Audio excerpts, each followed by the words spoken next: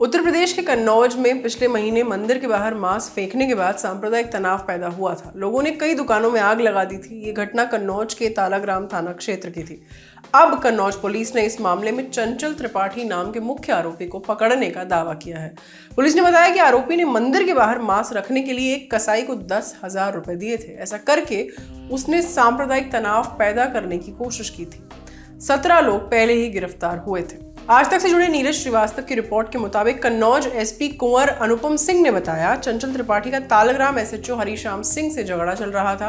वो एसएचओ को हटवाना चाहता था, एसपी की माने तो इसीलिए उसने मंदिर के बाहर मांस रखवा कर सांप्रदायिक तनाव पैदा करने की कोशिश की, ताकि एसएचओ को हटा दिया जाए। तालाग्राम थाना क्षेत्र के रसूलाबाद गाँव में 16 जुलाई को मंदिर के बाहर मांस पाया गया था। इसके विरोध में हिंदू संगठनों के कुछ लोगों ने विरोध प्रदर्शन किया था।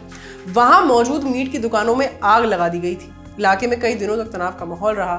पुलिस इस घटना में पहले ही सत्रह लोगों को गिरफ़्तार कर चुकी थी।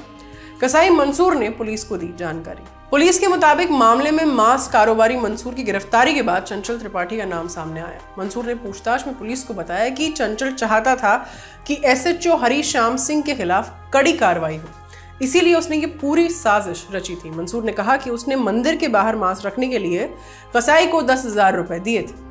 इस सांप्रदायिक घटना के बाद यूपी सरकार ने बड़ी कार्रवाई की थी। ज़िले के तत्कालीन डीएम राकेश कुमार मिश्रा, एसपी राजेश श्रीवास्तव और एसएचओ तालाग्राम के हरिश्याम सिंह का ट्रांसफ़र कर दिया गया था। थाने के दो और पुलिस कर्मियों को भी निलंबित कर दिया गया था।